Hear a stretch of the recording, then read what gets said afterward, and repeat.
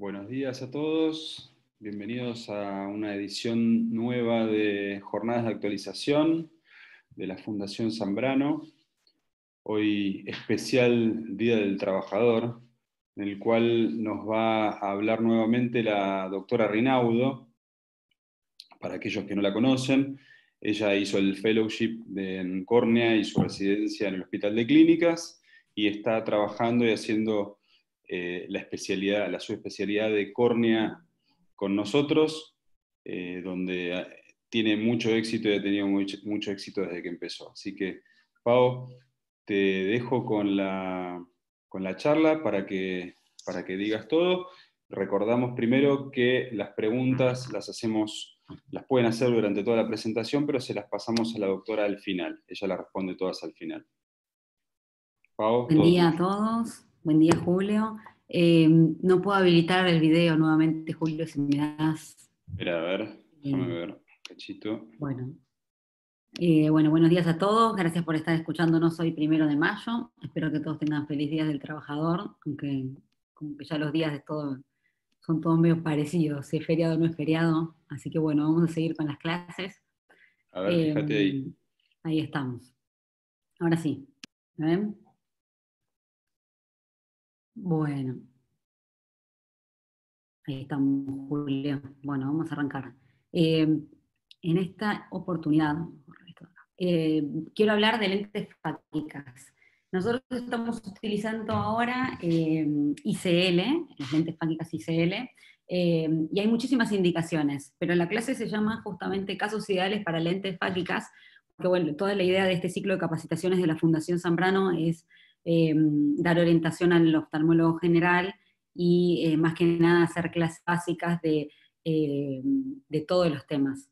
Entonces vamos a abordar cuáles son las indicaciones, las mejores indicaciones, las indicaciones en las cuales no van a tener problemas, las indicaciones en las cuales la colocación es más sencilla, el cálculo es más sencillo y van a tener éxito seguro. Entonces, eh, los casos ideales para lentes fácicas los vamos a, ir viendo. Primero vamos a repasar un poquito eh, qué tenemos que hacer para poder colocar estas lentes y al final vamos a ver un, par de casos que nos van a ilustrar eh, cuáles son los pacientes con los cuales deberíamos comenzar o con los cuales seguro vamos a andar bien. Bueno. Bueno, la ICL es una lente que la, bondad principal que tiene esta lente es el material del cual está hecho. Es, una, es un material de colámero que es totalmente biocompatible, hace ya muchos años que se está colocando, hay un millón de lentes implantadas en todo el mundo, eh, y como les digo, lo mejor que tiene es el material, obviamente que el diseño es bueno, pero eh, el material es totalmente biocompatible y no se ven reacciones Em, en el ojo ni cuando las implantamos, ni en el postquirúrgico inmediato, ni si están bien colocadas, si tienen eh, suficiente espacio en el ojo, eh, no tienen tampoco problemas a largo plazo. Eh, se colocan en el sulcus, o sea, por detrás del iris y por delante del cristalino, y en realidad quedan ubicadas a la altura del, del cuerpo ciliar, las ápticas de la lente, y pueden ser esféricas o tóricas. Lo que ven acá en la pantalla es el primer diseño que se utilizó al comienzo, que no tiene ningún tipo de, eh,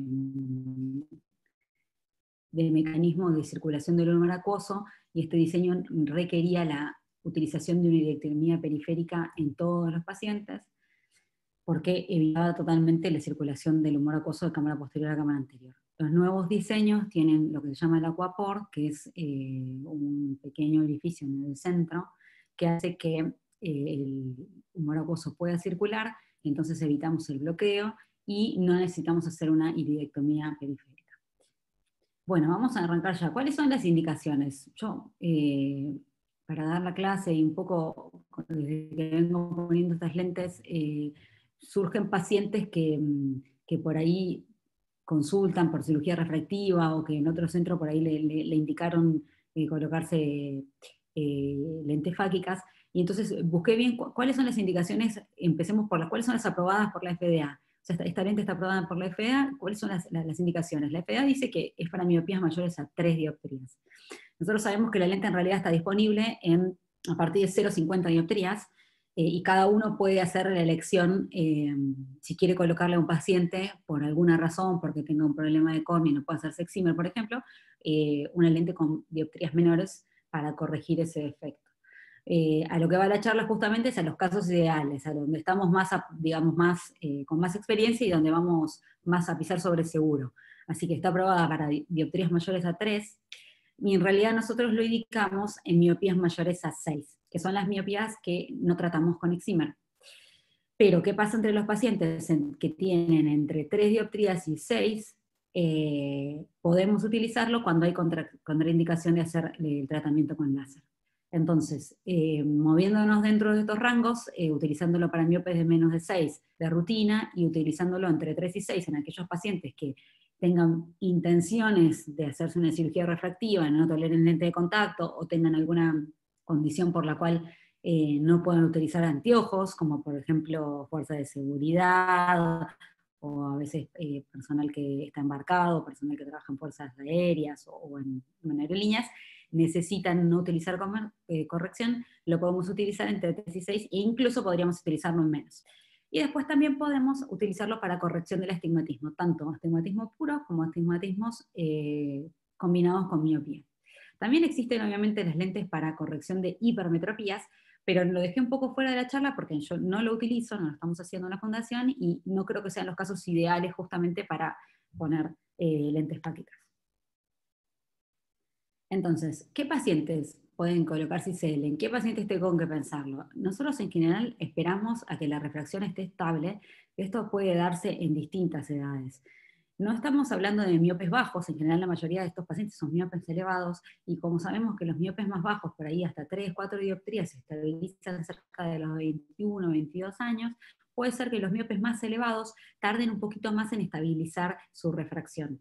Y muchas veces, hasta los 25, 26, incluso a, veces cerca de los 30 años, no tienen estable la refracción. O sea que es muy importante que la refracción sea estable eh, y un poco ver eh, cómo es eh, la miopía en esa familia. A veces hay pacientes que son, que son hijos de, padres miopes de menos 20 y uno los conoce con menos 8 y bueno, no es momento todavía de operarse hasta que no tengamos bien fehaciente cuál es la estabilidad y la refracción final de ese paciente. Lo ideal es que la cámara anterior medida desde endotelio, ahora vamos a ver cómo la podemos medir, pero lo ideal es que sea mayor a 3 milímetros e igualmente hay trabajos, incluso la, casa que, nos provee las lentes eh, nos informa que a partir de 2,85 de cámara anterior se puede colocar. Yo la verdad que en mi experiencia puse uno o dos veces por debajo de 3 milímetros y eh, después lo vamos a ver, la realidad es que se achica bastante la cámara anterior y uno es un paciente que lo tiene que cuidar mucho y tiene que eh, hacerle un control con gonioscopías y, y, VM para ver cómo queda el ángulo, porque realmente eh, se achica mucho la cámara anterior. Por lo cual siempre les recomiendo que lo mejor es que la cámara anterior sea mayor a 3 milímetros, ahí van a estar más seguros.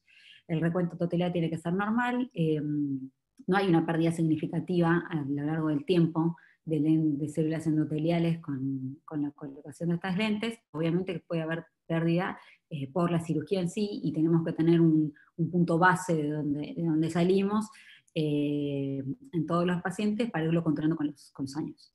Eh, muy importante la evaluación de los ángulos, ver la gonioscopía, que no tenga presencia de pigmento, que no tenga sinequias anteriores y que no haya glaucoma.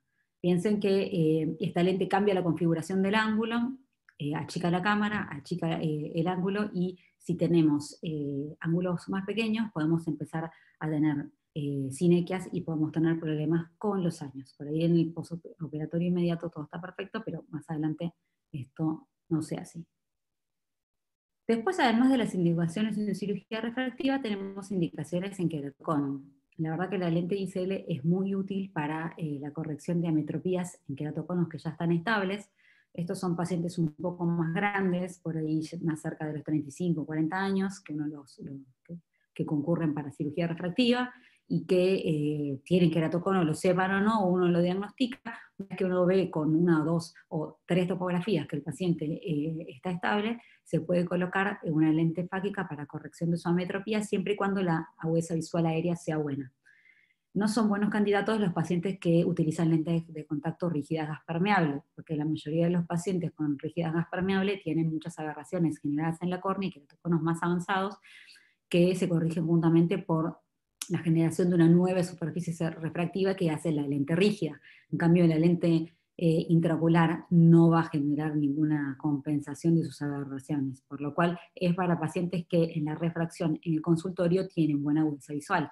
Esto de, cuál es la buena agudeza visual para cada paciente es, es una medida que no debe ser arbitraria, sino que debe ser evaluada en cada paciente. Hay personas que con 6, 7 décimas hacen una vida totalmente normal, hay personas que requieren más y hay personas que con 4 o 5 décimas se manejan muy bien. Así que eso que, eh, tienen que evaluarlo en cada caso, pero acuérdense de que esté estable. Y si no está estable, lo podemos estabilizar con tratamiento, o sea que podemos utilizar para corrección de ametropías que queden luego de tratamiento con anillos o luego de tratamiento con crosslinking. Siempre, eh, fíjense que ahí puse en mayúscula, o sea, en queratocono tiene que estar estable y luego sí se puede poner una lente fálica. Y otra de, las, de, las, de los casos que también son buenos son la corrección de ametropías esféricas residuales, luego trasplante de córnea.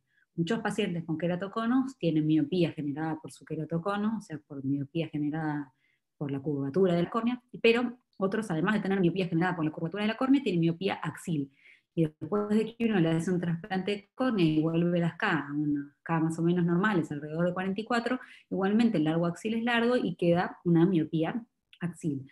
Eso si el paciente tiene buena cámara, también se puede corregir con una lente fáquica. Bueno, vamos a la parte de estudios complementarios, que es una de las cosas más importantes, porque lo, más complejo que tiene esta lente es saber cuál es el sizing eh, correspondiente.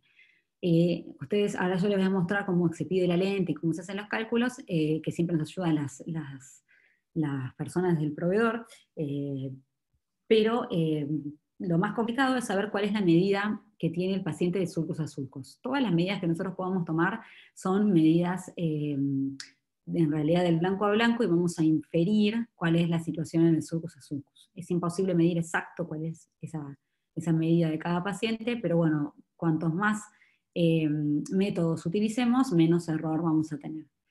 La UM la pedimos siempre, eh, no sirve tanto en realidad para la medida surcus a surcus porque es muy eh, dependiente del de, eh, operador y de dónde uno ponga el marcador cuando está haciendo el estudio, el marcador para contar cuál es la medida, pero sí está, está muy bueno para saber si hay alguna otra alteración, para saber cuál es la conformación del iris de ese para evaluar los ángulos en el preoperatorio y para saber si tiene presencia de quistes retroidianos. Tuve uno o dos casos de pacientes que vinieron a consultar para colocarse lentes fáquicas con miopías elevadas, que tenían quistes retroidianos que no se ven en la biomicroscopía, que aparecen en la UM y que contraindican la colocación de la lente fáquica, porque el quiste sencillamente ocupa el lugar donde tiene que ir la lente. Em, después tenemos que hacer una, una evaluación, obviamente, de la córnea. La evaluación de la córnea la pueden hacer con topografías, cualquier topografía que, quieran utilizar, pero necesita nada más eh, medición de la cámara anterior, y nosotros como estamos utilizando el Pentacam, además de estar, eh, de evaluar la topografía eh, con el Pentacam, que es con el sistema de Shaneflu, podemos también tener la cámara anterior, y tenemos con la cámara de Shaneflu una muy buena medida de white to white. Esto en realidad se hace con con una foto que toma la cámara y después una medida sobre la foto, o eh, el otro equipo que es el Pentacama XL, que es el que calcula las lentes intraoculares, ya no nos da la medida de manera automática. Em, yo, la verdad que al comienzo hacía eh, la medición con, con, Pentacam, la medición con Master también, que el Master nos da una muy buena medida de white to white también, em, y nos da una buena medida también de la cámara anterior. El cuidado que tienen que tener es que el Yol Master da medidas de la cámara anterior eh, desde epitelio, o sea que desde epitelio eh, nos suma el valor del grosor de la córnea, por lo cual siempre el Yol Master la medida de cámara anterior es mayor. Eh, o sea que tienen que tener cuidado cuando, cuando cargan los datos para calcular la lente intraocular. entonces pueden utilizar el white to white de Yol Master pueden utilizar el white to white del Mentacam, como les digo, pueden guiarse con la UM también y pueden medirlo con compás en microscopio. Para medirlo con compás, eh, no sirve medirlo en la lámpara, en hendidura, porque los errores son mayores, lo ideal es que el paciente esté acostado y que lo veamos eh, con el microscopio. y tratar de utilizar los, eh, el caliper que, tiene como, como, un pequeño resorte y que uno sin mirar cuál es la, medida pueda apoyarlo en el blanco a blanco, porque si no es como que uno se condiciona a buscar una medida que por ahí ya la vio en otro de los eh, estudios complementarios. Entonces, en realidad, si vamos a utilizar eso, es lo primero que deberíamos hacer, y después, una vez que midimos con el caliper, después tendríamos que ir a mirar el resto de los estudios. Como siempre les digo, todos los pacientes con cirugía refractiva son pacientes que tienen que ser estudiados en extenso porque eh, son pacientes que están sanos, y que quieren eh, dejar los anteojos. Así que todos los pacientes OCT macular, si quieren ponerse los OCT de nervio óptico de capa de fibras para estar seguros de que, están bien. Hay que hacerle fondo de ojos a todos los pacientes, evaluación cuidadosa de la periferia. Piensen que son todos pacientes con miopías elevadas.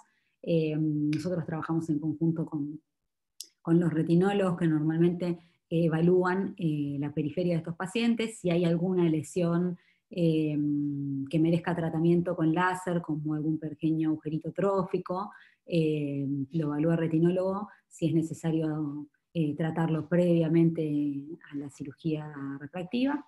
Eh, y después, algo muy importante es hacer la refracción cicloplégica. Eh, cuanto más diferencia tengamos en la refracción aérea y la refracción con la cicloplegia, más error podemos tener en el postquirúrgico con la corrección de la lente que le estamos colocando.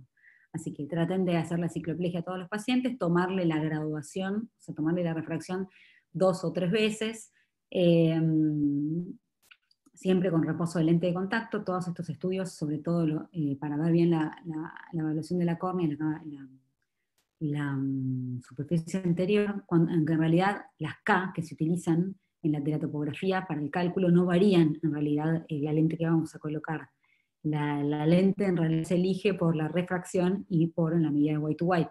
Pero eh, es importante que hagan el reposo de lente de contacto para que los estudios nos lleven bien y segundo, para hacer una buena refracción. Y, como les dije, tener el recuento endotelial para tener una base a partir de la cual lo podemos ir controlando todos los años al paciente que no tenga alteraciones en este sentido. Entonces, el y el máster van a ver que les da medida de white to white, y les da la medida de cámara anterior, que le pone acá ACD. Ven que son medidas altas, 378, por ejemplo, en este caso, que lo puse a modo de ejemplo nada más, es porque está incluyendo la córnea.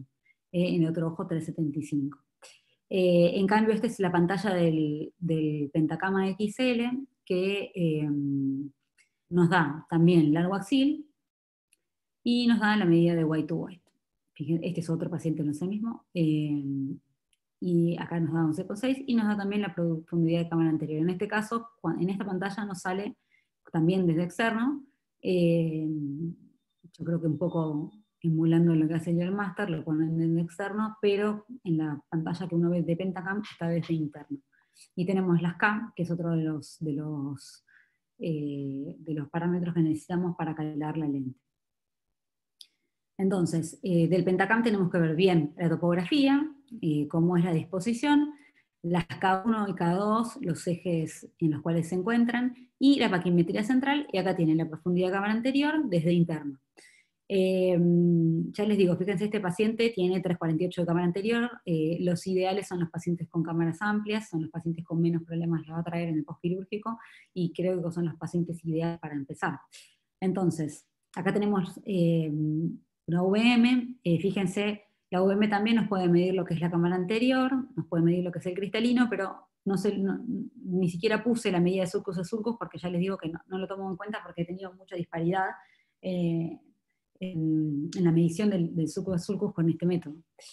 Sí nos sirve para la medición de los ángulos. Fíjense que este paciente tiene ángulos bien abiertos, eh, no puse las otras imágenes, pero si es mayor a 20 grados se considera que está abierto, así que eso es otro parámetro muy importante que vean en el preoperatorio. Y nosotros hacemos de rutina la documentación del fondo de ojos, eh, a los que ya les digo, son pacientes miopes elevados que pueden tener alguna pequeña lesión en la periferia y siempre es bueno tenerlo documentado. Son pacientes eh, muchas veces los pacientes me preguntan cuál es el riesgo de esta cirugía. Yo eh, la verdad que no encontré bibliografía que la cirugía de implante de lente fáquica eh, tenga alguna relación con el aumento del riesgo del desprendimiento de retina. Siempre les explico que el desprendimiento de retina es una patología más, más frecuente en los pacientes miopes elevados, por lo cual es ideal tener documentado que al momento que uno lo operó al paciente no tenía ninguna lesión periférica ni ningún, ningún problema de retina, por si en el posquirúrgico o a largo plazo después sí tiene alguna enfermedad retinal.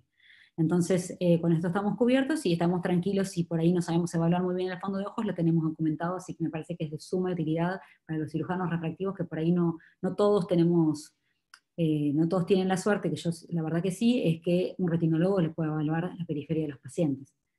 Bueno, para hacer el cálculo de la lente, puntualmente, ustedes lo que, lo que van a necesitar es la esfera de la refracción, el cilindro, el eje, el cilindro en general lo calculamos en negativo, las queratometrías, la cámara anterior y la paquimetría. Y la medida de blanco a blanco. Esto de la esfera de lente de contacto no es necesario y si tienen intervenciones previas, eso sí. Con esto se va a hacer un cálculo de el tamaño de la lente, que fíjense acá aparece con esta medida de blanco a blanco, que es menor a 12, por cuando son menores a 12 eh, lo que corresponde son lentes de 13,2. Entonces nos va, nos va a dar una lente de 13,2 milímetros de, de ancho, ese es el tamaño, y esta es la refracción. Los cilindros luego se transforman en positivos, esto se lo hace la, la, persona que es el proveedor, así que se les manda esta hoja de cálculo, esto no lo tienen que hacer ustedes, y em, entonces va a ser un menos, menos 250 con más 250 en 35. Em, y el tamaño. El tamaño depende un poco de white to white y depende también de la cámara anterior. Porque ustedes me podrían preguntar, cuando estamos en 12, exacto, ¿qué, pedimos? ¿La más grande o la más, o la más eh, chica? Que hay una de 13 con 2 que es la más chica y después si otra, no recuerdo ahora si es 13,6 o 13,7. Entonces, cuando hay valores limítrofes tenemos que evaluar cómo es la cámara anterior. Eh, si la cámara es amplia, podemos colocar una lente que sea un poquito más grande, que después nos quede con mayor distancia el cristalino, que se llama Volt, pero no vamos a tener problemas porque tenemos cámara amplia. O sea que el, sizing en realidad depende de los dos valores, depende tanto de white to white como de la cámara anterior. Al principio, cuando uno arranca, uno le presta por ahí mucha atención al white to white y no tanto a la cámara anterior, pero presten atención a las dos cosas porque en el postoperatorio lo que van a ver más que nada es la cámara anterior, cómo están los ángulos y cómo, está ese paciente. Así que eh, estén súper atentos a la cámara anterior, que eso les va a ayudar a, tener menos errores en el postoperatorio. Y en los casos de que la lente sea eh, eh, cilíndrica, perdón, el cilindro ya viene tallado en la lente intraocular. No es como las lentes de cámara posterior que utilizamos para catarata, que uno las tiene que alinear en el eje, sino que siempre el cilindro viene tallado en el lente. La lente siempre se coloca así de forma eh, horizontal, o sea, en el surcus de nasal temporal, pero eh, según la disponibilidad y el eje que tenga el paciente, a veces podemos tener que rotar hasta 20 grados. Hasta 20 grados es lo posible porque ustedes saben que el surcus nasal atemporal es eh, más pequeño que el surcus superior e inferior, por lo cual la, medida y el sizing que hicimos está tomado para tenerlo en posición horizontal el lente, y em, con estos 20 grados que se puede mover no nos cambiaría el volt eh, que calculamos. En cambio, si nosotros lo ponemos en la otra posición, el surcus es más eh, amplio y entonces nos va a quedar con menos volt. Es como que la, lente tiene mayor espacio y nos queda con menos volt. Ahora esto igual es muy interesante para ver, ahora se los voy a comentar más adelante. Em, bueno, vamos, antes de ir un poquito a los casos, em, un tip es que en realidad las lentes tóricas necesitan estabilidad rotacional, ahora después lo vamos a ver. Eh, es muy importante que la lente esté fija y que no se mueva, de, que, no se mueva de, la posición horizontal en ningún grado, porque si no la corrección eh, cilíndrica baja. Entonces, cuando tengamos posibilidad con cámara anterior amplia, de utilizar la medida más grande de lente para que la lente no pueda rotar, en los casos tóricos se los recomiendo, porque me ha pasado de que colocar lentes tóricas y que la corrección del cilindro no sea tan buena, porque cuando después lo dilato al paciente veo que no está en el eje donde tenía que estar y se corrió un poquito. Eso es porque por ahí la lente em, es más chica y tiene más espacio, y el volt está perfecto, tiene menos volt, pero eh, si yo hubiera elegido una lente un poquito más grande, si la cámara me da, la corrección del cilindro sería mejor. No hay que tenerle miedo a los volt altos si el paciente tiene buena cámara, ya les digo. Incluso creo que prefiero tener volt alto, porque eh, estoy seguro que con los años el paciente va a estar bien, eh, y si la cámara anterior eh, no se le va a seguir achicando, o sea, porque el crecimiento que se da después del cristalino se acerca a la lente, pero no, va a seguir achicando la cámara anterior. Así que tengan cuidado con el, con el sizing. Y de todas maneras, siempre las personas que le hacen el, que les hacen el cálculo de la lente, los ayudan con, con todos estos tips que mucho los he aprendido de ellas. Bueno, ¿cuáles son los casos más, más eh, sencillos y los casos ideales? Desde ya que el caso ideal es el paciente con miopía elevada que solo tiene eh, miopía. Fíjense acá tiene la topografía acá a la derecha, es una córnea casi esférica con un pequeño astigmatismo de 1, que ni siquiera lo utilizaba en la corrección tiene un largo axil cercano a 28, con una cámara de casi 4 desde externo, así que sería 350 más o menos, si la... Mm, vale, tenemos que restar acá hasta los 500 de la paquimetría, así más o menos 350 de cámara anterior, entonces este es uno de los casos ideales. Un paciente con cámara amplia, con un defecto eh, esférico solamente, con una córnea normal, y em, es uno de los casos más sencillos para empezar. Tenemos mucho espacio para trabajar en la cirugía, eh, tenemos mucho espacio para, que el ángulo se reconforme en el postquirúrgico, no tenemos tantos problemas con la refracción, eh, porque soy esférico, y eh, tenemos seguramente éxito asegurado con estos pacientes. Sí tengan cuidado de, de hacer la cicloplegia y acercar este valor lo más posible a la cicloplegia. La refracción obviamente tiene que ser la esfera con la cual el paciente, la menor esfera, perdón, la menor esfera con la cual el paciente alcanza 10 décimas. Muchas veces los pacientes vienen sobrecorregidos o utilizan lente de contacto de cualquier graduación, compraron en la óptica, tengan cuidado con eso, eh, que por ahí si el paciente usaba menos 13, pero con menos 12 ve 10 décimas, ustedes tienen que colocarle la menos 12. Y fíjense la cicloplegia cuánto les da, y yo normalmente cuando tengo diferencia entre cicloplegia y refracción subjetiva, por ahí utilizo un promedio de las dos. Si hay mucha diferencia, mayor a una o dos dioptrías, eso puede indicar que la miopía aún no está estable, sobre todo si los pacientes son muy jóvenes.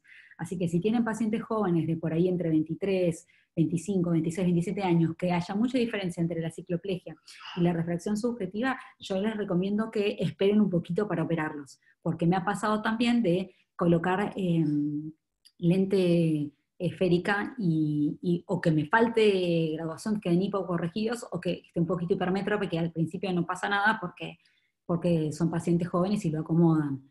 Eh, y otra cosa que les quería decir es que tengan mucho cuidado con los pacientes que son más grandes y están cercanos a la presbicia. Los pacientes que están cercanos a la presbicia también me ha pasado varias veces que eh, no presentan ningún síntoma de presbicia con su corrección de anteojos o lente de contacto, y cuando uno le, coloca la lente fágica, con una corrección más exacta, eh, manifiestan presbicia, eh, aunque sean los primeros signos, digamos, en el postoperatorio inmediato. Así que eh, tiendo a hipocorregir un poco a los pacientes que son más grandes para evitar este problema. Otro de los casos ideales son los pacientes con biopías y astigmatismos elevados, que tienen la combinación de ambas patologías. Fíjense acá este caso, que tiene menos 7 de esfera, que está originado en este largo axil 27 con 27, pero además tiene, según la topografía, tres dioptrías de astigmatismo. Fíjense, una acá de 46 y la otra casi 46. Muchas veces les va a pasar que eh, una cosa es lo que dice la topografía eh, en cuanto al cilindro y otra cosa es lo que el paciente quiere en la refracción subjetiva. Yo normalmente eh, no corrijo más de lo que dice la topografía, porque también me ha pasado de que cuando corrijo más de, lo que dice la topografía, después encuentro en el posoperatorio cilindros eh, invertidos en el otro eje, eh, o sea que sobrecorrijo. Lo que normalmente hago es o, hacer el cálculo con 350, en este caso ni 4 ni 3, sería con 350, y entonces minimizo el riesgo de que me pase para un lado o me, pase o me quede corta. Eh, y lo que uno hace es explicarle al paciente que puede ser que le quede un 0,50 de, de, cilindro residual, que no lo pudimos corregir, y sería lo mismo que le quede de residual o que le quede 0,50 en el otro eje. ¿eh? pero tengan, no, es que la refracción subjetiva es siempre la que hay que utilizar para, para calcular, esto también es para Eximer, sino que hay que limitarse a la topografía. Eh, así que es muy importante evaluar bien las topografías y que el paciente haya hecho, el reposo con lente de contacto correcto. Eh, que en el caso de las lentes de contacto eh, blandas, recomendamos entre 7 y 10 días, y en caso de que sean rígidas, para miopes altos, es complicado, tiene que ser más tiempo, hay que evaluarlo caso a caso. pero he tenido pacientes que hasta un mes han tenido que hacer reposo, de lente de contacto. Y otros de los casos que andan muy bien son los pacientes con córnea fina, que tienen eh, miopías menores a 6. Por ejemplo, este paciente es miopía menos 5 y fíjense que tiene una córnea que es en aspecto totalmente normal, la cara anterior es normal, pero tiene una paquimetría en central más fina de 481. Ustedes podrían plantearse si eh, le podríamos hacer excimer, en realidad por ahí eh, PRK, de manera segura, dependiendo cuánto, cuánto nos nos, eh, cuánto ablacionemos por mí, por, eh, por, dioptría, y por ahí estamos en una área de grises, este paciente justamente podría tratarse con una técnica o con la otra.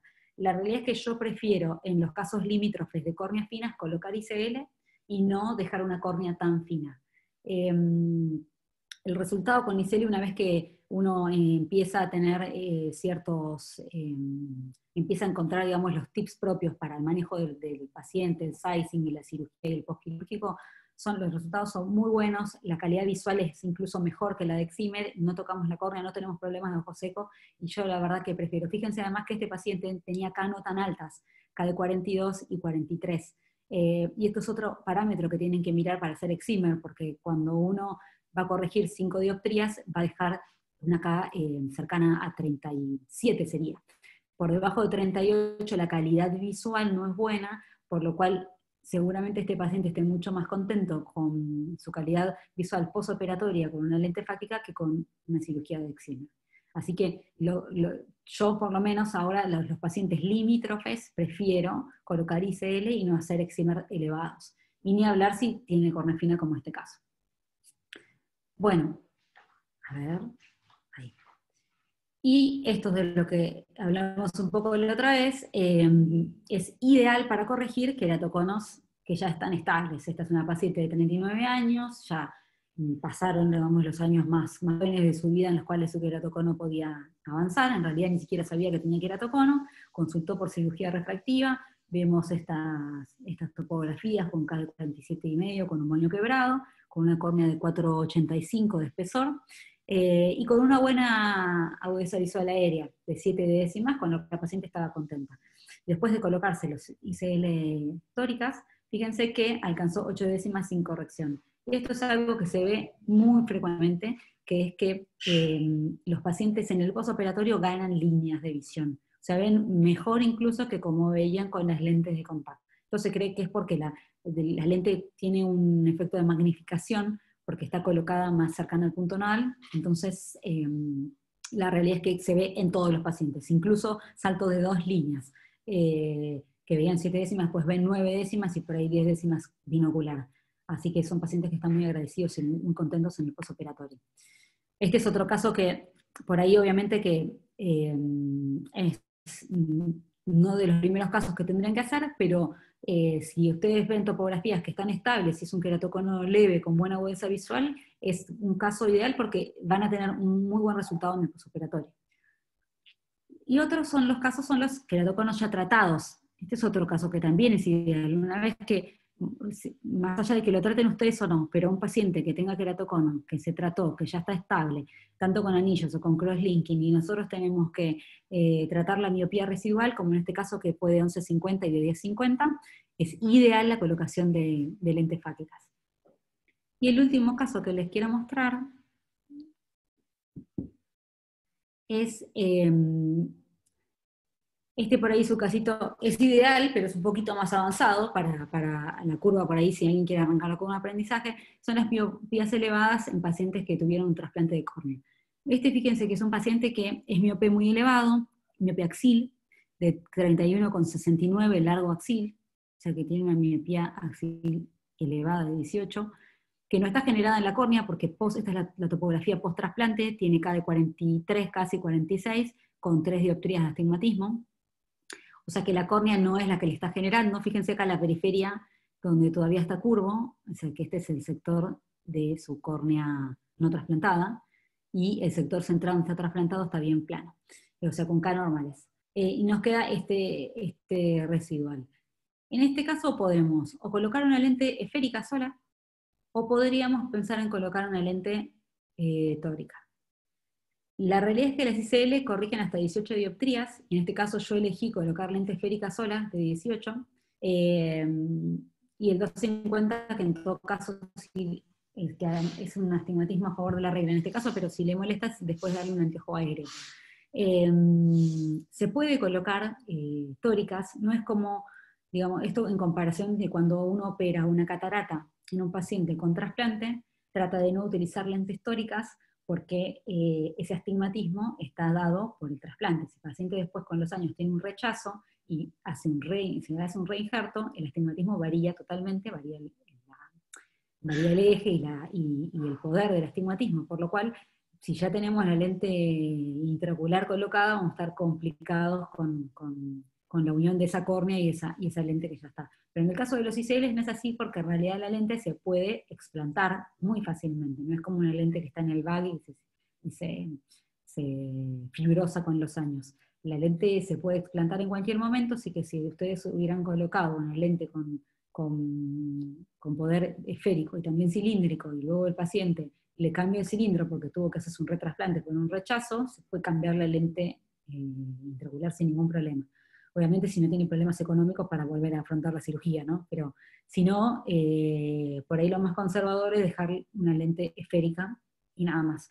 Y si el cilindro es bajo, eh, puede utilizar eh, anteojos. Ahora, si el cilindro es más alto, porque el, el astigmatismo post-queratoplastia es más elevado, sí se puede poner la lente tórica y corregir más esa parte. y ya les digo, si en un, futuro lejano necesita cambiarlo, no, no hay problema. Bueno, vamos a ir un poquito a, la lente, a ver la lente. Em, una de las cosas claves es el cargo de la lente. Yo siempre estoy esperando que llegue la lente precargada, por ahora todavía no, no, creo que en un momento estaba como que en Estados Unidos iba a salir, pero por ahora no la tenemos disponible, porque la verdad que uno de los pasos más complicados es cargar bien la lente. Si uno carga bien la lente, tiene 50% de la cirugía ganado. Eh, se utiliza el viscoelástico liviano, eh, hidroxipropil metilcelulosa, estoy usando, no, perdón, metilcelulosa, siempre me confundo, eh, y se pone un poco de, de, Ringer y un poco de metilcelulosa.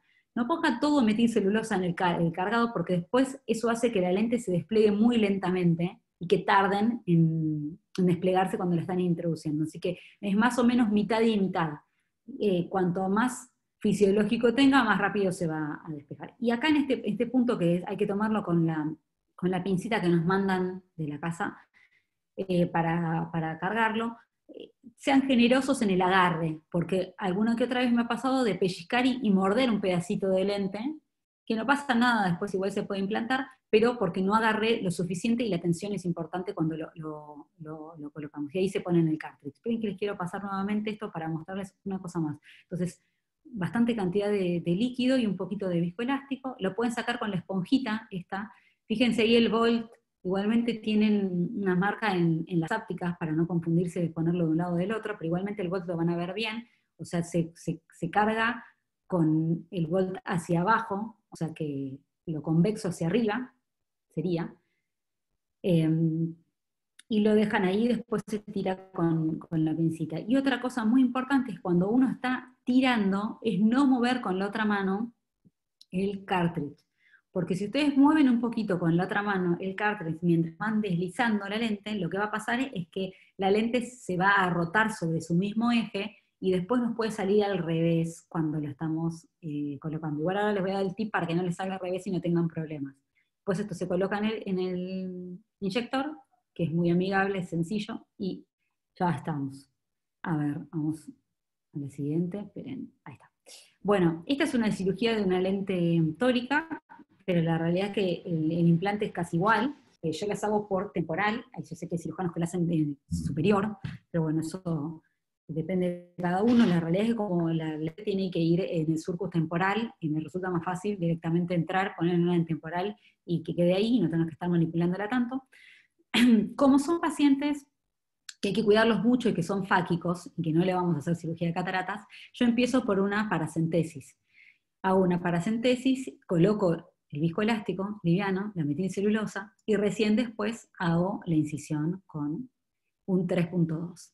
Muy importante que el cuchillete sea nuevo o lo más nuevo que puedan, porque si uno está haciendo mucha fuerza eh, y tiene la mala suerte de que toca el cristalino y rompe la cápsula anterior, es un desastre. O sea, tiene que hacerle una faco al paciente. Tengan en cuenta que son pacientes jóvenes. Utilicen 3,2 de cuchillete siempre, porque eh, si a veces uno dice, bueno, no tengo 2,65, amplío un poquito, es lo mismo, no es lo mismo porque si la, si la incisión está muy justa, les va a costar poner el inyector, que igualmente, fíjense igualmente que cuesta porque es justa y tiene que ser justa, porque si es muy grande, ¿qué pasa? Lo único que vamos a utilizar es metilcelulosa y lo que sucede es que se sale y nos quedamos sin cámara. Entonces es muy importante que tengan el cuchillete 3,2.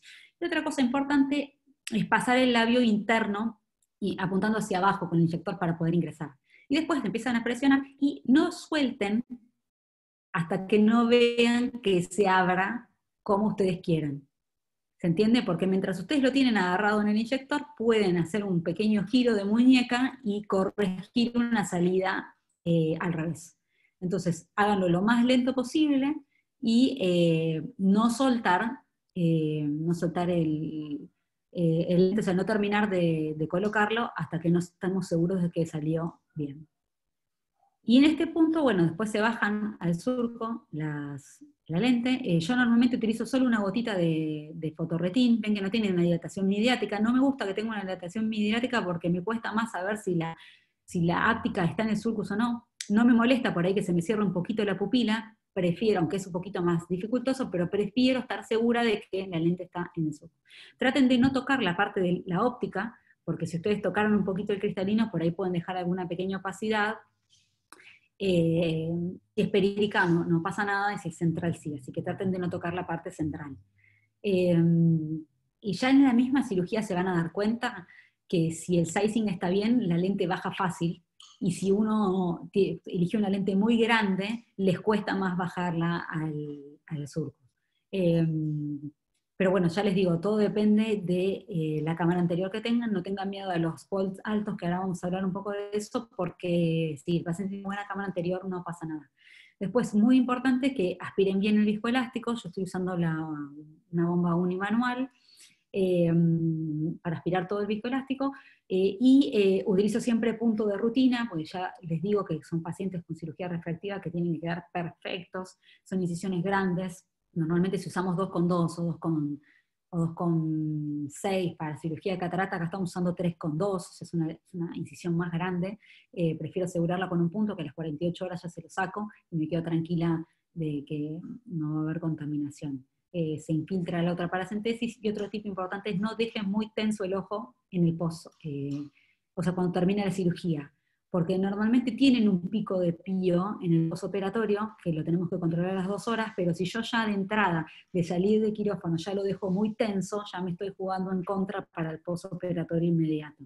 Entonces, eh, chequeen que las incisiones estén estancas y que no haya salida de, de humor acuoso con una esponjita, pero traten de no dejarlo tan tenso, sino más bien tirando a blandito, em, para que no tener este problema en el posoperatorio. Yo de rutina le paso monitor a todos los pacientes, eh, eso me ayuda a tener una deshidratación vítrea que me va a dar un tiempo de, eh, de pío más baja y de tranquilidad en el posoperatorio, eh, y si es necesario de, de agua se lo dan, ahora, ahora lo vamos a ver. Estos son pacientes que hay que cuidarlos mucho, son pacientes que no se van de alta enseguida, uno sigue con su, con su jornada quirúrgica y el paciente sigue ahí en la sala de espera. Eh, yo normalmente les pongo por ahí un parchecito un rato por, los efectos por ahí epiteliales que se les seca un poquito el epitelio y les molesta, y recién a las dos horas cuando voy a, controlarlo, les saco el parche, tomo la pío, utilizo muchas veces acetosolamida, si el pío está por arriba de 20, 25, les voy a hacer acetosolamida. Muchas veces, por más que saco totalmente el, el, el viscoelástico, hay igual un pico porque hay un, una nueva conformación del ángulo. Entonces, no, no tengan miedo de utilizar acetazolamida, son pacientes jóvenes que no tienen en general ningún tipo de, efectos adversos. Em, y en algún que otro caso he tenido que pisar una paracentesis o incluso la incisión para bajar un poco presiones más elevadas. Eh, no dejen pacientes con, con pío elevada irse a su casa, o sea, creo que por arriba de 30 deberían quedarse como para controlarse con, con, con más acetazolamida, o si tienen que volver a sacar un poquito, entrarlo para sacar un poquito de viscoelástico, o pisar una paracentesis, porque em, eh, pueden tener algún compromiso del, iris, del esfínter de la pupila. Yo tuve un caso de que tuvo un poquito de, de, pío alrededor de 32 en el posoperatorio, no, no le di mayor importancia, eh, y tuvo una pequeña isquemia del esfínter de la pupila, eh, y un ojo tiene una medida de pupilar el otro tiene una medida de pupilar un poquito más grande, es una chica joven y no, no estuvo muy contenta con eso, así que tenga mucho cuidado con, con el control posoperatorio. También tienen que ver que la lente esté eh, bien colocada en el surcus. Esto por ahí, cuando, si ustedes colocan mucha, mucho fotorretín, como los miopes hacen dilataciones bien límicas, eh, les cuesta saber si la lente está en el surcus o está en cámara anterior. Por eso les recomiendo que coloquen una sola gotita de fotorretín y que ya en este control ya la pupila tenga algo de movimiento pupilar y ustedes puedan estar seguros de que la lente está en su lugar. Bueno, ¿y cuál es el volt ideal? El volt ideal es de entre 250 a 700 micras. Por debajo de 250 los estudios dicen que eh, puede haber contacto de la lente eh, con el cristalino más que nada en periférico, por lo cual tratamos de que no sea mayor a 250, que no sea menor a 250. Y hasta 700 micras, pero ya les digo que yo creo que le tengo más miedo a los volts bajos que a los volts elevados, si me manejo en pacientes con cámaras amplias porque los volts bajos, eh, además de que les puede dar estos toques pequeños del, lente con el cristalino en la periferia, puede generar a futuro una catarata subcapsular anterior. En cambio, los volts altos les va a dar mucho más tiempo de lejanía entre el cristalino y la lente. Eh, entonces, tengan en cuenta la cámara anterior, hay que ver qué pasa con los años, justamente, cuanto más volt tenga el paciente, más años tiene ese cristalino para crecer y acercarse a la lente sin traerle problemas. Eh, y lo que les dije de los tóricos, la estabilidad rotacional. En el caso de los tóricos, si la cámara anterior da, es conveniente colocar por ahí un poquitito más grande la lente para que esté más estable y no se mueva y tengamos una corrección cilíndrica mejor. Em, en la ophthalmology, en el 2010, salió este, este estudio que, lo que muestra es que el volt se va, bajando con los años, que es lo que les, venía diciendo.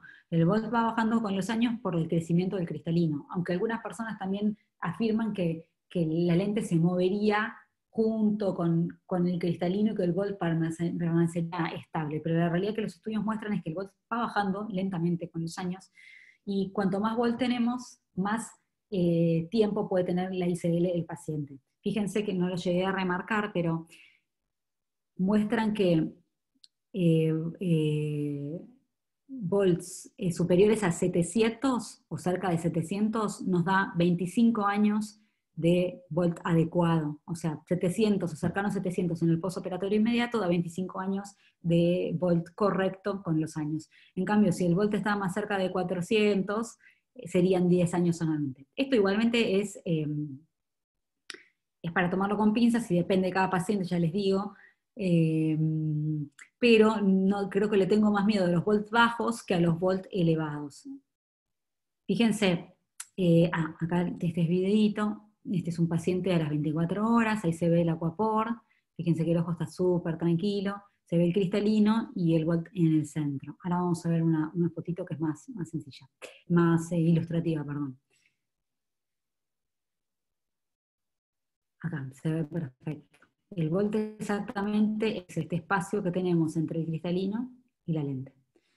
Que para tener una medida eh, sencilla y rápida en la lámpara, más o menos ese, ese volt tiene que equivaler a entre media córnea, la córnea, si la tomamos de 500 micras, serían de media córnea y una córnea y media.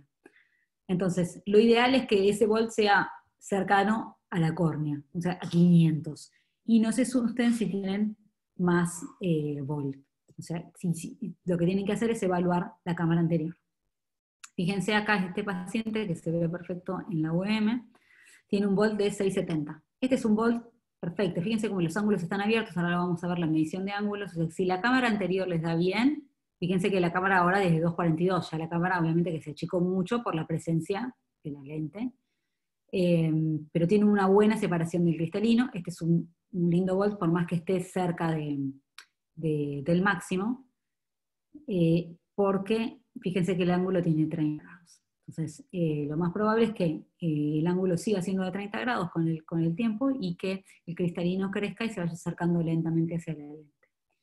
Em, entonces, tips muy importantes es tener muy en cuenta la cámara anterior y eh, elegir en base a la white to white y en base a la cámara anterior. Bueno, hemos finalizado Hoy me parece que estuve mucho mejor con el tiempo, porque otra vez me había mandado, Julio, ¿estás por ahí? Sí, sí, te escucho, Pau, se escucha bien. Bueno, hoy estuvimos bien con el tiempo, así que ya hemos finalizado, vamos a ir sí, a, las preguntas. Mientras tanto van viendo acá eh, el flyer de la próxima jornada de actualización, que es el martes próximo, a las 11 horas, volvemos un poquito más tarde, nos hacemos madrugar como hoy, pues a las 10 en, en cuarentena es madrugar, Así que el martes a las 11, el doctor Castro Freijó, que tiene muchísima experiencia en pacientes con membrana hiperretinal, nos va a decir eh, cuándo hay que operarlos y cuándo no. Julio. Bueno, Pau, te felicito por la presentación. Eh, vamos a ir a las preguntas, que hay varias. A ver. Sí. En el chat y en Facebook hay algunas también. Bueno, a ver. Primera pregunta. ¿Puede el OCT de segmento anterior suplantar la VM? Eh, la verdad yo no hablé del OCT de segmento anterior porque no lo estoy utilizando y, la idea en general es mostrar lo que, lo que por ahí a uno le, sirve. Eh, pero sí, es muy útil el OCT de, cámara anterior para, ver las medidas de, de cámara anterior sobre todo, pero no para el white to white. Eh, yo te agregaría por el tema de los quistes, por ejemplo, en, la VM se puede ver la, calidad, la reflectividad de los quistes, que con la OCT de segmento anterior no. Pero lo que sí puede ver la OCT de segmento anterior es si hay algún, si hay algún desnivel en, en, cuanto al ángulo y si hay alguna duda se puede profundizar con el estudio de VM. O sea, tiene una utilidad en ese sentido, pero es un poco más limitada la OCT. Eh, muy buena presentación, pregunta el, doctor Galperín eh, si con el YOLMaster 700 el white to white también es sobreestimado. No tengo yo eh, experiencia con el YOLMaster 700. La verdad que no sé eh, si es sobreestimado.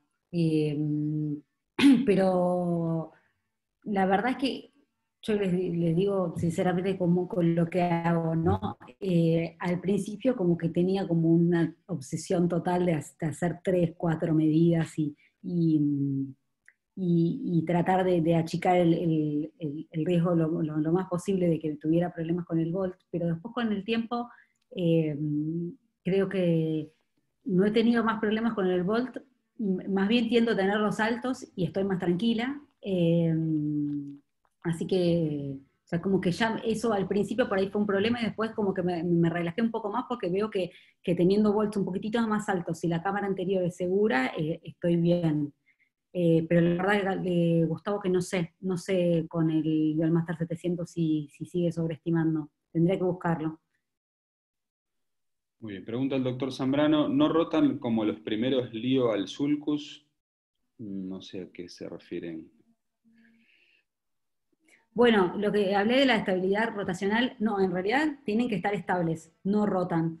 Eh, pero si uno eligió una lente más pequeña, según el white to white del paciente, puede ser que un poquito se mueva. Obviamente que no se va a ir del, del, del sulcus horizontal al vertical solo, pero parece mueve algunos grados. Em, y esto es importante en los casos tóricos. En los casos tóricos traten de poner una lente un poquito más grande, aunque les quede con mayor volt. Si tienen buena cámara anterior no pasa nada y les va a quedar más estable y la refracción y la corrección postquirúrgica va a ser mejor. Y otra, otro tip también es que si ustedes tienen un volt muy elevado en una lente esférica, lo que pueden hacer es pasarlo del surcus horizontal al surcus vertical, que es más grande, y entonces le va a bajar el volt. Eh, muchos cirujanos lo que hacen es controlar el postoperatorio inmediato, o sea, colocar la lente esférica, sale el paciente a, la recuperación, lo miran en lámpara de hendidura, ve, o si tienen los CT para anterior o tienen este, otro método para medirlo, lo pueden, lo miden, y eh, si ven que hay un hipervolt, entonces lo ingresan nuevamente y lo pueden rotar. Esto no se puede hacer obviamente con las lentes históricas, solamente para las esféricas, eh, pero ya les digo, depende de cuán ajustado uno estuvo con la cámara anterior, porque un vuelto un poco más alto, pero con una cámara anterior amplia, con ángulos amplios, no es necesario hacer nada. Así que si uno empieza con ojos ideales como los que yo les estuve mostrando, que son ojos amplios, no van a tener problemas. Eso más que nada cuando por ahí después quieren poner ICLs hipermetrópicos o, o irse un poquito más a las cámaras más, más, pequeñas, hay que tener más cuidado. Pablo Armendaris pregunta, en caso de queratocono e ICL, si el eje del cilindro te da diferente en la topografía con respecto a la subjetiva, ¿qué eje usas para la medición de la lente? El eje de la refracción. Siempre utilizamos el eje de la refracción y em, es como la cirugía refractiva, digamos, de exime, lo que sea, el, que lo que manda es la refracción subjetiva. Eh, pero sí puede ser que, que, la cantidad de astigmatismo sea diferente entre la refracción y la topografía. Bueno, en ese caso hay que ver, hay que ver y tratar de hacer algún promedio por ahí, eh, pero si se utiliza el eje de la refracción. Eso después con el tiempo uno con, con los casos se va dando cuenta eh, cómo ajustar entre la refracción y la topografía. Doctor Zambrano pregunta fuera de tema, pero iris cosméticos. Bueno, iris cosméticos, eh, justo ayer, ayer fue, sí, ayer o antes de ayer fuimos una paciente. No, no, la verdad que yo no tengo experiencia en iris cosméticos, sino no, la única experiencia que tengo son los dos pacientes que he visto en mi vida, uno en el hospital de clínicas con una córnea completamente descompensada y una uveitis crónica con edema macular cistoideo refractario, un desastre. Y otra es la paciente que vimos en la fundación, que, también tenía bajo recuento endotelial y un edema macular. No, no, no tengo experiencia y creo que no, que no, no hay que recomendarlo que no la vas a tener tampoco.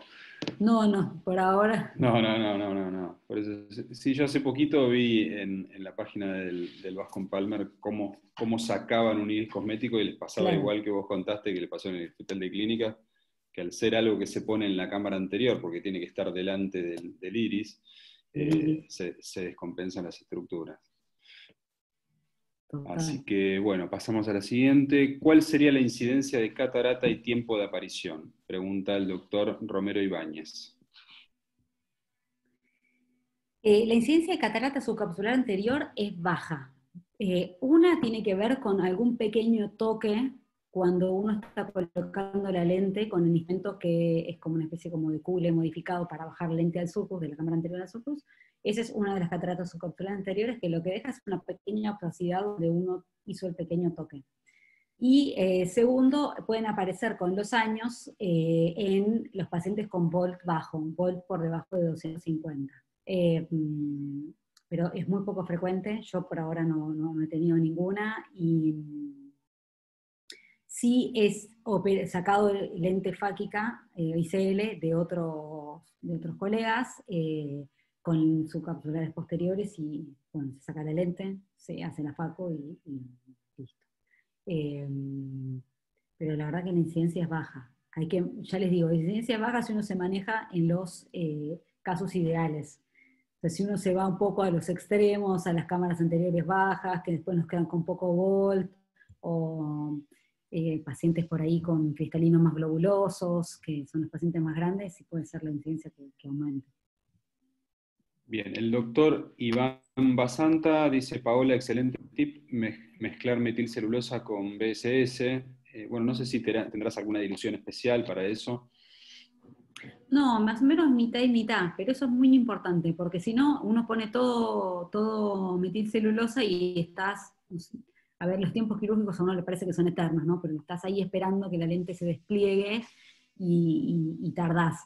Em, poner metilcelulosa y, y, y, un poquito de BCS hace que salga más rápido. Y otra cosa muy importante es no soltarlo, o sea, no inyectarlo de una como uno hace con una lente de catarata, sino irlo viendo cómo se va abriendo y em, cualquier cosa, si ve que sale al revés, eh, puede mover un poquito la muñeca y, corregir.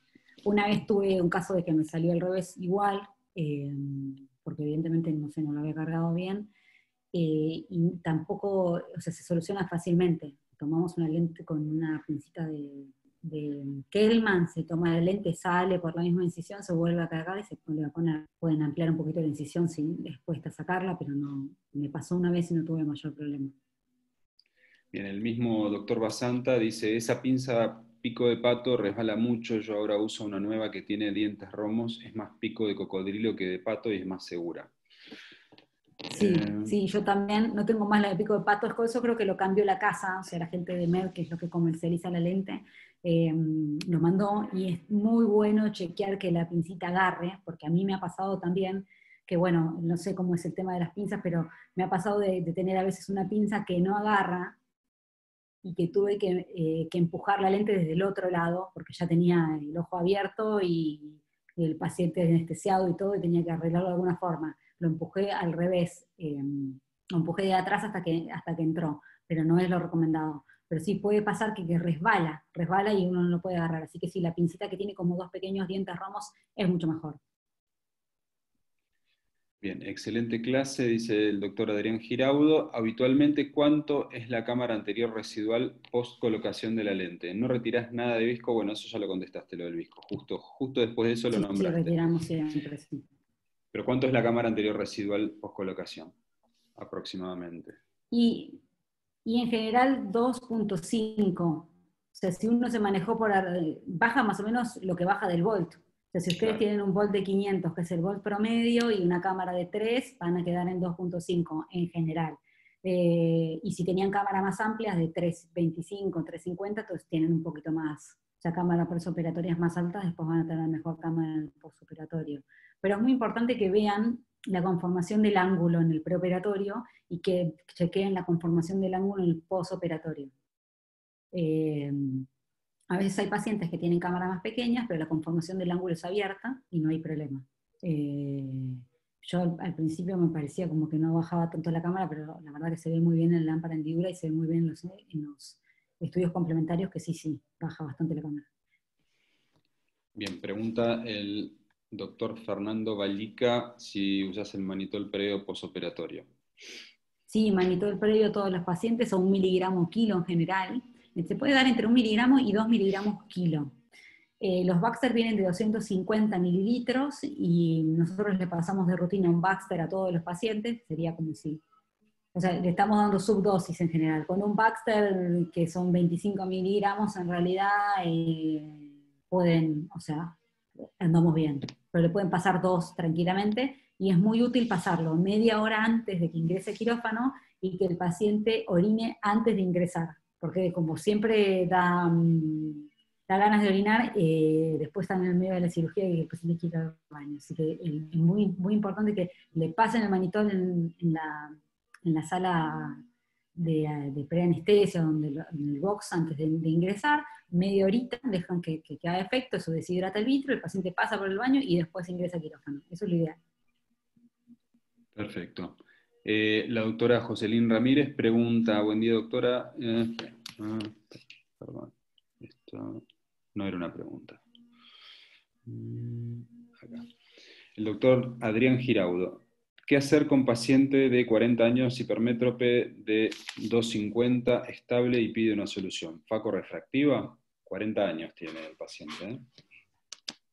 Sí, no. Yo faco refractiva a los 40 años no. Eh, se puede hacer eximer. Eh, o puede esperar más adelante, después de los 55, 60 años, cuando hay un poco de esclerosis nuclear, entonces sí podemos pensar en una FACO. Em, eh, ustedes van a ver cuando empiecen a hacer los casos que los pacientes más cercanos a 45, 50 em, no tienen cámaras tan amplias, porque el cristalino ya creció, y em, no todos se pueden colocar ICL. Yo no tengo experiencia con los ICLs hipermetrópicos, la verdad, pero incluso me ha pasado de pacientes de 45 o 50 años miopes elevados que no tienen cámara a esa edad porque ya el cristalino ya nació y ya no tienen el espacio suficiente para poner un ICL con comodidad. Eh, así que en ese caso, a los 40 años, eh, creo que o se hace dimmer, que puede funcionar muy bien, eh, y, eso le hace un puente hasta la, hasta la FACO. Perfecto.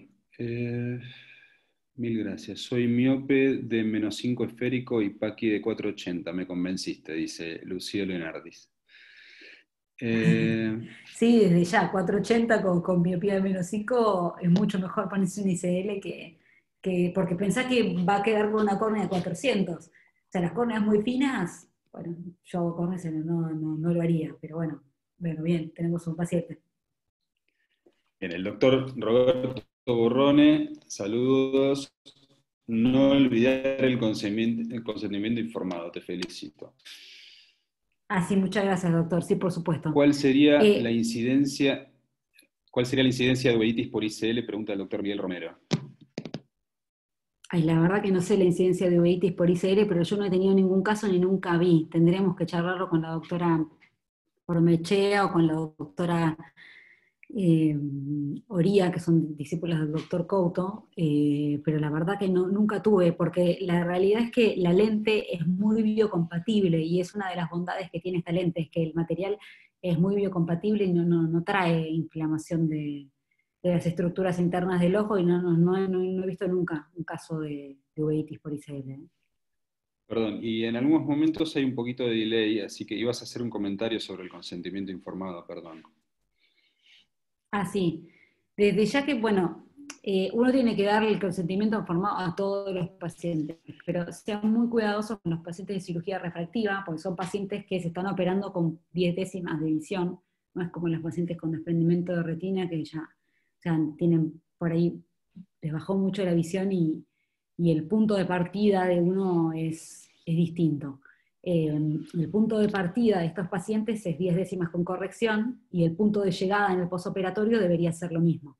Así que son pacientes en los cuales hay que explicar muy cuidadosamente cuáles son los riesgos. Siempre hablo yo de los riesgos, del riesgo de desprendimiento de retina y el riesgo de, de, em, de infecciones en el posoperatorio. Esas son las dos cosas que nombro siempre más, o sea, lo nombro en todas las consultas.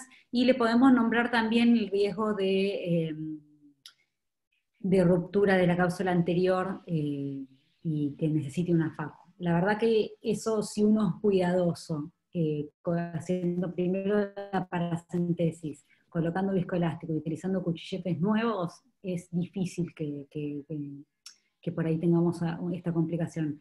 Pero sí, hablen claramente de los riesgos. En general son pacientes que buscan la cirugía, que se quieren operar y que aceptan y entienden los riesgos y bueno, eh, asumen los riesgos para, conseguir mayor confort. son personas que, en general por ahí no de contacto, que no pueden salir, o sea, tienen, son los típicos que tienen el anteojo en la mesa de luz, o sea, que no se pueden ni levantar de la cama sin, sin los anteojos, así que en general comprenden bien y aceptan los riesgos y, afrontan la cirugía. Bien. Pregunta el doctor Miguel Romero, ¿realizan iridotomía? ¿A qué pacientes los realizan? No, iridotomía con la lente que tiene el Aquapor no hacemos más. Yo la verdad que ya em, siempre utilicé las lentes con Aquapor. No llegué a utilizar las lentes que no tienen, así que nunca hice iridotomía. Em, y no he tenido nunca problemas con esto, así que no, no es necesario hacer iridotomía eh, y es una de las también de las características importantes de esta lente. Bien, preguntan eh, desde Perú el doctor Castro. Paciente de 23 años con pseudofaquia por catarata pediátrica. y miopización de menos 7.5, estable. ¿Puede eh, colocarse ICL en lugar de recambio de lente? Sí, sí, se puede utilizar la ICL en el surco para corrección de ametropías post-FACO. Sí, totalmente. Entonces, saben que se pueden utilizar los surcoflex, se pueden utilizar em, eh, las, ICL, eh, y bueno, eso depende como uno esté más familiarizado con, con qué lente, pero la verdad que, que, sí, se pueden colocar sin ningún problema. Em, y la cirugía es igual, y lo que tiene de bueno para el tema de los chicos es que la lente es muy fácilmente cambiable, de que si ustedes por ahí lo colocan en una edad eh, que todavía no está estable la refracción, pero el paciente lo necesita porque no la lente de contacto o para manejo del tratamiento, eh, o sea, para lo que sea, después se puede cambiar, fácil. Así que sí, sí, se puede utilizar la ICL para la corrección de ametropías poco. Bien, eh, pregunta el doctor Domingo Gómez Sánchez, ¿disminuye la amplitud del ángulo camerular y si es así, en qué porcentaje? Sí, disminuye, no hay un porcentaje exacto, depende de cuál sea el ángulo preoperatorio y la conformación del ángulo. Hay distintos tipos de conformación del ángulo según como el iris, eh, cuál es el formato de, digamos, del iris, y y depende del volt que vaya a tener. O sea, no hay una forma exacta de predecir, por ejemplo, si tiene tanta cámara anterior, tanto ángulo y le pongo tal lente, cómo va a quedar. Es difícil de predecir porque hay un valor que no sabemos, que es el valor de surcos a surcos, justamente, y que es, digamos, el desafío más importante que tenemos en, en estos casos, y eh, es difícil saberlo, pero sí cambia la conformación del ángulo, y ya les digo, para no tener problemas hay que manejarse con pacientes con cámaras anteriores amplias. Bien, el doctor Tomás Castro Feijo pregunta, ¿por qué no corregir el astigmatismo del primer caso? ¿Con la incisión no aumentaría el astigmatismo? Sí, eh, en general, el primer caso era un paciente de menos 12 que tenía una dioptría, acá, este, eh, tiene una dioptría, y se ve acá en, la topografía. Es un astigmatismo con la regla, que el paciente no lo utilizaba en la refracción, eh, y estas lentes, aunque sean esféricas, corrigen entre 0,50 y 0,75, por ahí hasta uno lo corrigen igual. Eh, esta paciente tuvo esa visual de décimas sin corrección en el posoperatorio, sin necesidad de corregir la esfera. En, eh, las del cilindro, perdón. En general utilizamos lentes cilíndricas a partir de 1,50 hay de, menor de, uno podría utilizarla, pero en general no es necesario y el costo eh, es muchísimo mayor. La diferencia entre una lente esférica y una lente tórica es muy alta, entonces tendemos a utilizar eh, las tóricas cuando son realmente necesarias. Bien. Preguntan eh, si tenés alguna experiencia o sabes de los resultados con lentes fáquicas de cámara posterior como el Icril Fáquic. No. Por ahora, la verdad que la única experiencia que tengo es con las lentes ICL. No tengo, no tengo experiencia con otras, con otras lentes. Perfecto. Salvador Chávez pregunta, ¿cuánto aumenta el volt si uno decide cambiar el ICL por el tamaño próximo siguiente mayor en caso de volt insuficiente?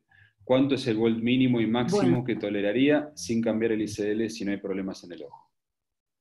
Bueno, eso es muy interesante. Em, en general aumenta 500, 500 micras entre uno y el otro. Entonces es muy interesante que qué va a pasar si, si uno tiene por debajo de 250, por ejemplo 100 de volt, colocas el siguiente modelo y va a tener 600.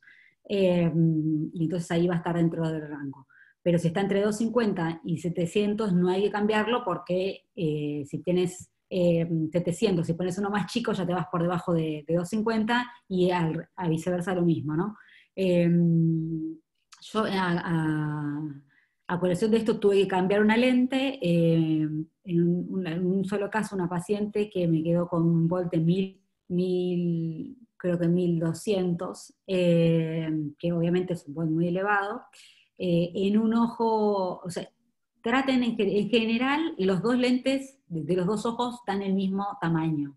Es raro que un paciente tenga una medida en un ojo y otra medida en el otro, eh, o sea que son casos muy particulares, a menos que sean ojos muy distintos, que bueno, les puede pasar que un ojo sea miope de 18 y el otro sea miope menos 6. Entonces ahí sí puede haber un cambio en la medida de la lente que tengan que utilizar.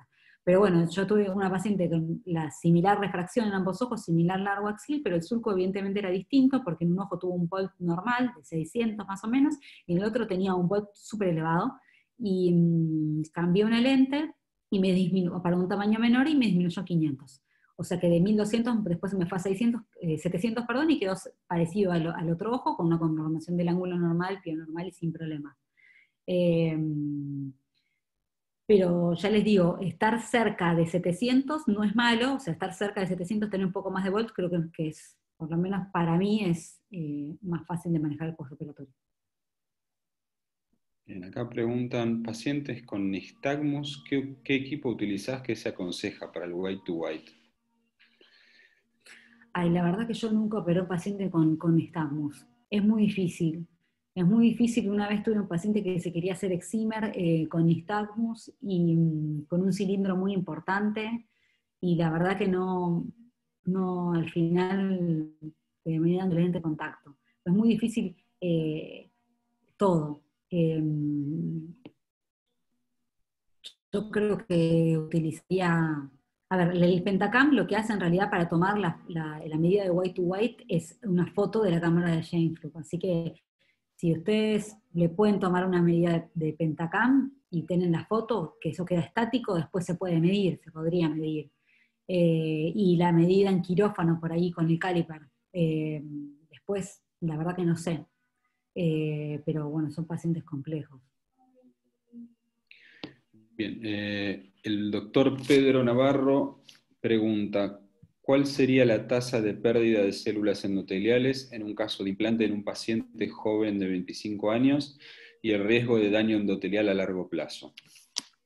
No, el riesgo de daño endotelial es bajo, es bajo porque la lente está por detrás del iris.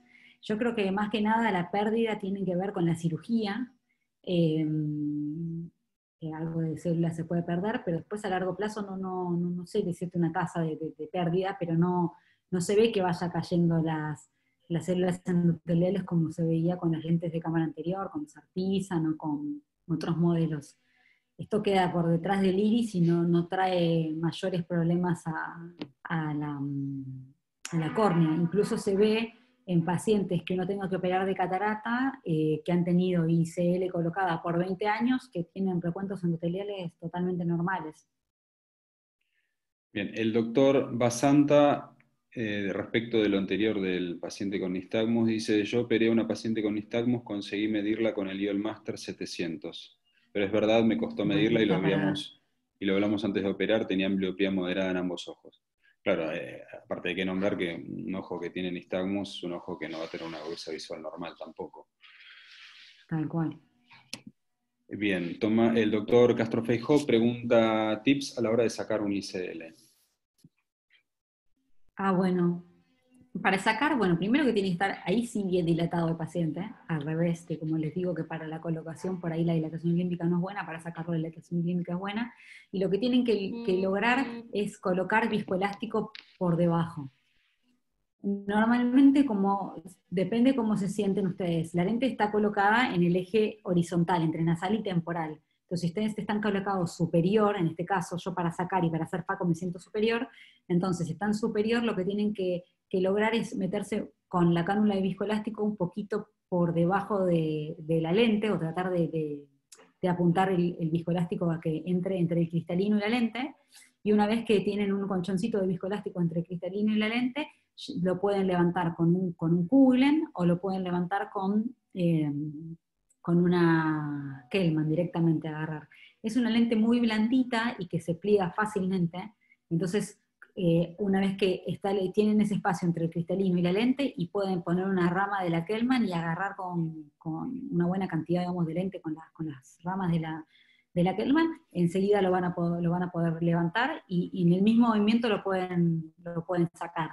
Eh, la verdad que es súper sencillo y esto es lo importante, tratar de ubicarse no en el lugar donde están las ápticas, no sentarse temporal, sino por ahí sentarse superior, y entonces ahí van a estar en el, en el lugar donde pueden poner lente, eh, pueden poner viscoelástico entre, la, entre el cristalino y la lente. Si ustedes se sentaran temporal y, ahí tienen las ápticas de la lente, están bien en el, en el, en y es difícil que ustedes puedan poner el viscoelástico en, entre, en ese espacio. Entonces, estando en superior, lo van a poder poner más fácil, si no tendrán que hacerlo a través de una paracentesis. Pero lo más importante es lograr colocar viscoelástico entre el cristalino y el lente. Bien, el doctor Zambrano pregunta, ¿cuánto cilindro corrige máximo? Bueno, las lentes cilíndricas se, hacen a pedido, digamos, o sea, se tallan para el paciente. Y son, hasta seis, hasta seis dioptrías. Eh, pero a veces si hay un poquito más, creo que se pueden pedir, pero hasta seis seguro eh, corrigen. Bien, antes de pasar al chat de Facebook, yo te voy a hacer un par de preguntitas. Eh, ¿Recomendarías para la colocación de ICL poner Biscode, por ejemplo, y por qué sí o por qué no.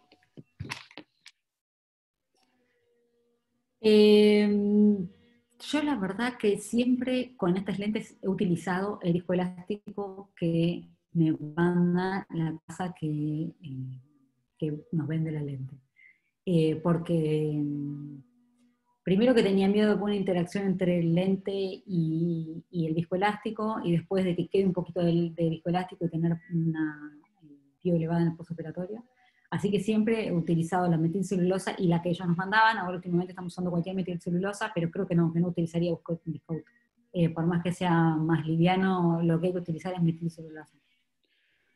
Perfecto. Después, eh, te hago una pregunta. Respecto, cuando aprobaron la ICL para, para, usarse en Estados Unidos, la medición mínima de cámara anterior era 3 milímetros, pero en Europa de 2,8.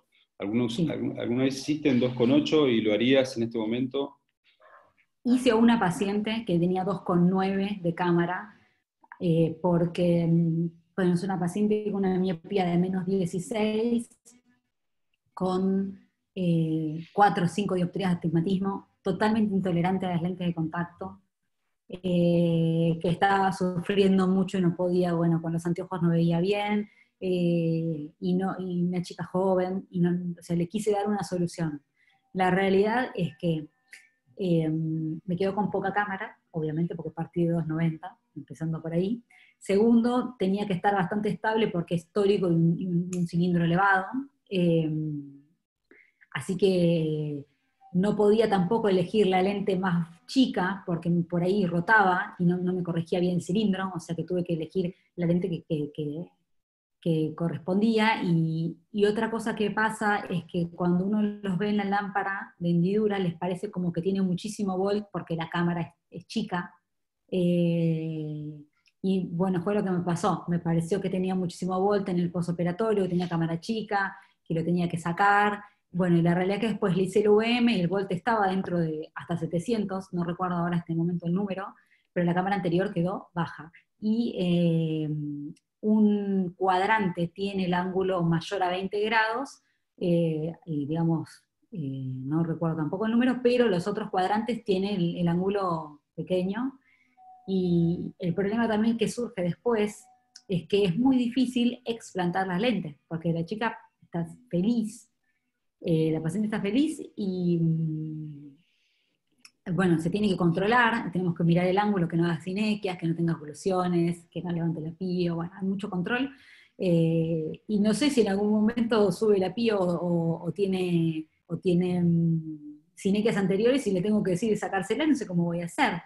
O sea que yo en general en, esos eh, casos por debajo de tres, la verdad que no, no sé si lo volvería a hacer.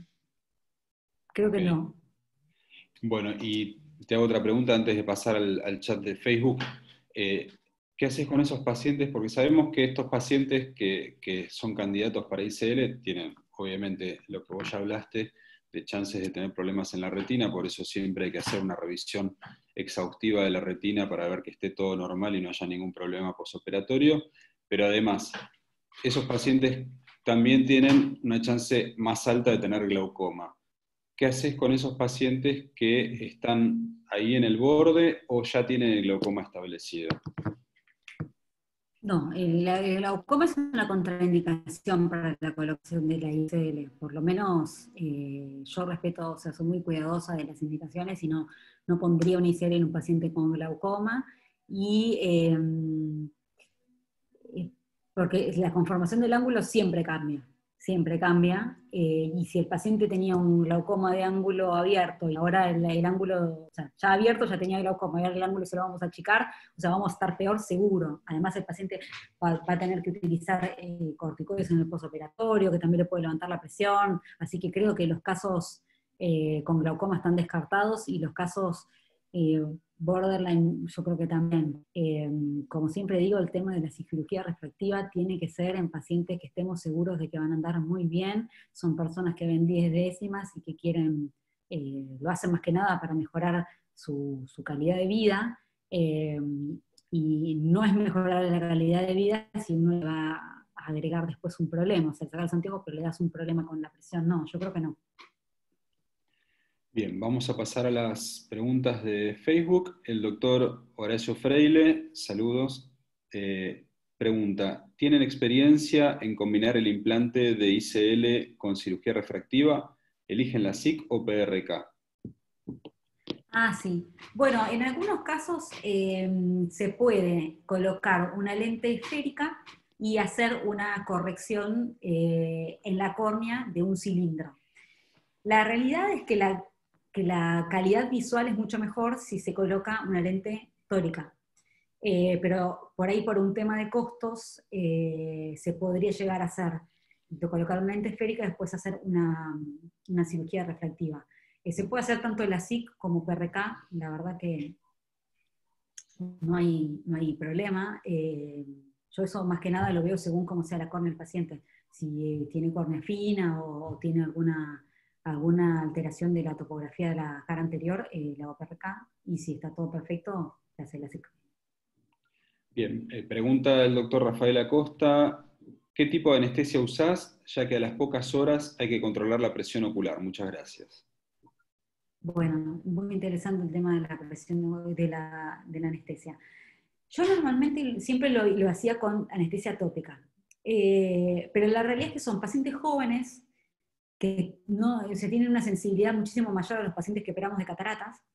Eh, y últimamente, eh, por enseñanza del doctor Pastor Freijó, eh, estoy haciendo pequeñas paravulvares inferiores.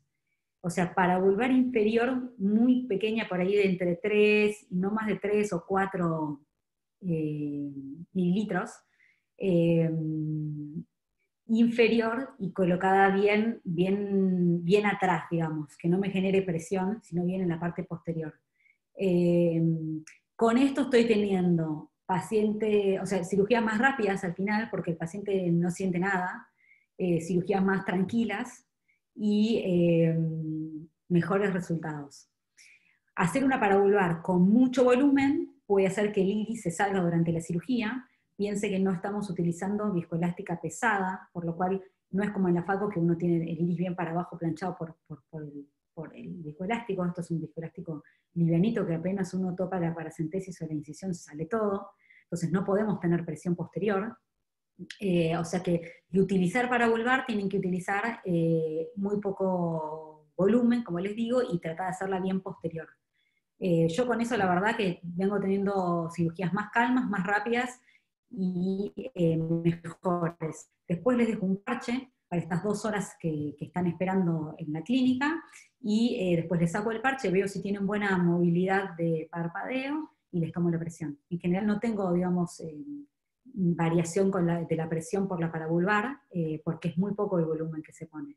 yo sé que hay personas que utilizan subtenoniana, pero bueno, la subtenoniana, nada, deja hemorragia subconjuntival, bueno, estoy más cómoda con, la paravulvar pequeña, eh, pero bueno, se puede, se puede hacer con tópica, se podría hacer con, con subtenoniana y se puede hacer con, con paravulvar. Muy bien. Pregunta la doctora Susana Beatriz González si haces la cicloplegia con alguna consideración especial. La cicloplegia que le coloco ciclopentolato en el minuto cero y a los 5 minutos o 10 minutos otra gota más de ciclopentolato y esperamos 45 minutos. Sí, hay que ser muy cuidadoso con la cicloplegia en todos los pacientes, en los jóvenes porque acomodan mucho y en los que son más cercanos a 40 años porque pueden tener problemas con lo que les conté de la presbicia. Em, así que eh, en todos los pacientes hay que hacer la cicloplegia cuidadosa. Muy bien. Y pregunta el doctor Rafael Acosta si usas alguna marca en especial. Perdón, Julio, no te escuché. Pregunta el doctor Rafael Acosta si usas alguna marca en especial de metilcelulosa. No, no, no. Ahora ya no. En el principio utilizaba la que mandaba la, gente de MED, pero ahora creo que estamos utilizando la misma que se utiliza para, para poner las lentes intraoculares de FACO. La metilcelulosa cualquiera. Bueno, Pau, no hay más preguntas, así que bueno, me queda volverte a felicitar por la presentación, que fue muy buena, y les decimos a todos que la presentación va a estar disponible en los próximos días eh, en Instagram, también la van a poder ver en YouTube. Y bueno, la próxima presentación va a estar a cargo del doctor Castro Feijó, que nos va a hablar de indicaciones de membrana eh, epirretinal, que va a ser el martes a las 11. Luego el jueves nos van a hablar de uveitis, la doctora Ormechea, y la semana que viene vamos a estar escuchando algo de plástico ocular y otra vez algo de retina. Les agradecemos mucho y bueno, los esperamos para la próxima. Buen fin de semana y buen feliz Día del Trabajador para todos. Feliz Día del Trabajador para todos.